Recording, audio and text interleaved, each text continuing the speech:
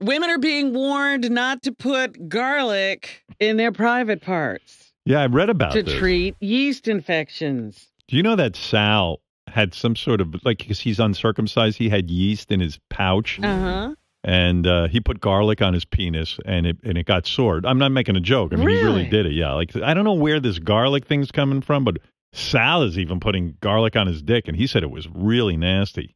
It couldn't get Yeah. worse. Yeah, I mixed it with yogurt. It said to mix it with yogurt, and I chopped up the garlic and I stuffed stuffed it in my pouch.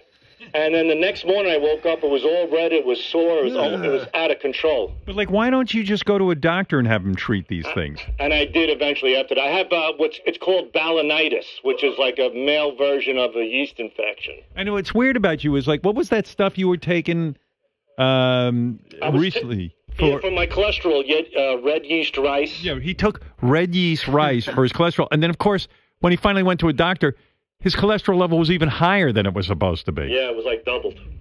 Yeah, so yeah, I eventually went to a doctor. So yeah, don't stick garlic on. And I made the mistake. I I was carrying this around in a canister, so I didn't realize like you needed to refrigerate the yogurt and the garlic. Oh no. Yeah, so when I put it on my penis, it was actually out for about eight or nine hours. Oh my god! So I, I developed this new bacteria on my cock. But like, why? Where do you learn these things that garlic should go on you? Like, where do where do you pick up this information? You know what? I, I just I just Google all this stuff and then I- you know.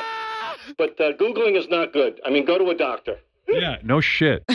Sal's cock is like a sandwich. You know when you go out on, in Manhattan on the street and you buy those? What are those? Gyro. Gyro. Yeah. Your cock's like a gyro sandwich. The ingredients of a gyro sandwich. You sandwich. know, I once bought tea tree oil for my cock. oh, now that's got to burn. What type Burned of oil? Like a motherfucker. I hit the roof. what type of oil? Tea tree oil. Yeah, and then Robin, there's another oil I bought. And Why did you put that on your cock? For the same thing. I was experimenting with my balanitis. I swear to God, Howard, I bought this oil. It was it was purple, and I just thought, okay, it's just the color of it. And my dick was like purple for a month. I couldn't get this shit off. Why would you not go to a doctor? He'll try anything but a doctor. Why are people anti-doctors all of a sudden? I'm really not. I just figured that you know I, I'm into homeopathic stuff. No, you're So- not. But you at least go to a homeopath. You're doing it on your own. Yeah, you're trying to figure this stuff out, and you're not that smart. Thank you, Robin. I mean, yeah, he's an idiot, and I don't mean that as a, a knock. I, I mean, a, pur- I had a purple cock for a month. I guess you're right. yeah.